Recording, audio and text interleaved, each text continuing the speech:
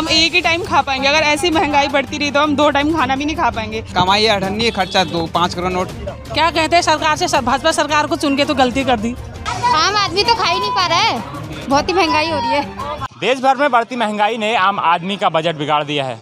अभी हम मौजूद हैं हल्द्वानी के सब्ज़ी मंडी में और यहाँ पर लोगों से जानने की कोशिश करेंगे कि कितनी महँगाई इन दिनों बढ़ी हुई है। कुछ लोग हमारे साथ हैं। भैया क्या नाम है आपका? ज़फ़र। आलू प्याज बीस रुपए किलो। सविता अच्छा आलू प्याज। है। हाँ बढ़ी है बढ़ी है सर महँगाई बहुत बढ़ी है। कमाने वाले लेबर मजदूरी करते हैं बच्चे। कभी काम लगता है कभी नहीं लगता है। खर्चा? खर्चा बहुत है। चलाना मुश्किल है। महँगाई कम करें। हाँ महँगाई कम करें। आम आदमी तो खा ही नहीं पा रहा है। बहुत ही महँगाई हो रही है। नींबू ने किस तरह से बजट बिगाड़ दिया आप लोगों का? क्योंकि महिला हैं आप। नींबू नहीं कहाँ बिगाड़ा है? मिर्ची दे- मिर्च हो रही है सभी चीज़ महँगा हो रहा है। कि नींबू नींबू थोड़ी हो रहा है। नींबू तो होता तो नींबू खा भी लेते। नींबू इस टाइम तीन सौ चार सौ किलो हो रहा है। छह हज़ार रुपये कट्टा रहा है कहाँ से लाए? छह हज़ार जमे भी नहीं है। और लाएँ तो कैसे भेजे? किस भाव भेजे? घिरा के रहे लूट रो। समझे नहीं? घिरा के रहे लूट रो। भाई पैसे है नहीं हम बेचते कहाँ से? टमाटर कल आया था चार सौ रुपये की रेट। दो दिन में आज हज़ार रुपये ग्यारह सौ रुपये की रेट हो गया। सरकार से हमारी गुजारिश है ये कि मद्दा करे सारा माल और। जनता ही बहुत परेशान है हम भी परेशान है जनता ही परेशान है सर। पूछो मत महँगाई तो। क्या लेने आए थे आप यहाँ पर? ये हुए नींबू लेने आए थे। हाँ हाँ। सभी सब्ज़ियाँ महँगी है क्या? है सर गैस के दाम महँगी है हर कोई चीज़ महँगाई है। टमाटर आज देखिए साठ रुपये किलो पचास रुपये आम नागरिक के लिए तो बहुत मुश्किल हो गया। जैसे हम लोग हैं, हम क्या कर सकते हैं? कुछ नहीं कर सकते हैं। खा रहे हैं ऐसे दाल रोटी से गरीब पेट भरेगा, कहते थे अब दाल रोटी भी नहीं है भैया। एक एक जना है। हाँ जी। क्या है तो कुछ नहीं भैया, कुछ नहीं है। क्या है?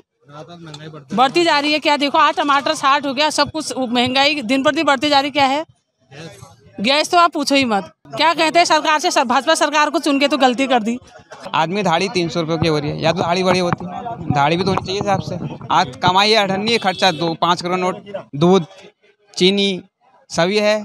कहाँ से आदमी कमाएगा खाएगा? सिलेंडर जो आपने एक हज़ार पचास का बता दिया पहले इसका साल में दो सिलेंडर फ्री मिलेंगे होली दिवाली।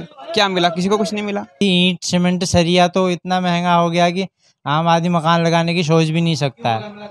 हम, जैसे देखिए कि हमने एक महीने पहले लिंटर डालने की सोची थी, सरिया पचपन सौ से नौ हज़ार चले गया। अब उसका इंतज़ार कर रहे हैं कि कब सरिया कमाए और हम अपना मकान का कार्य शुरू करें। बहुत मुश्किल हो रहा है। जिस हिसाब से महँगाई बढ़ रही है ना तो मुझे तो लगता है कि खाने का जो है ना, वो हम एक ही टाइम खा पाएँगे। अगर ऐसी महँगाई बढ़ती रही तो हम दो टाइम खाना भी नहीं खा पाएँगे। क्योंकि जो सब्ज़ी पहले दस रुपये या बीस रुपये थी, वो इस टाइम चालीस, पचास या साठ के ऊपर ज़्यादा है। हो सकता है अभी आने वाले टाइम में उससे भी ऊपर है। अब हमें बजट मैनेज करने में काफ़ी कुछ दिक्कतों का सामना करना पड़ रहा है।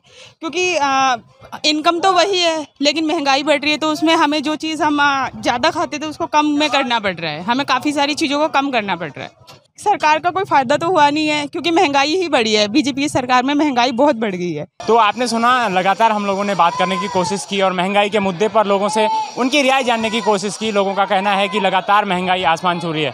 हल्द्वानी से न्यूज़ टुडे नेटवर्क के लिए योगेश भट्ट।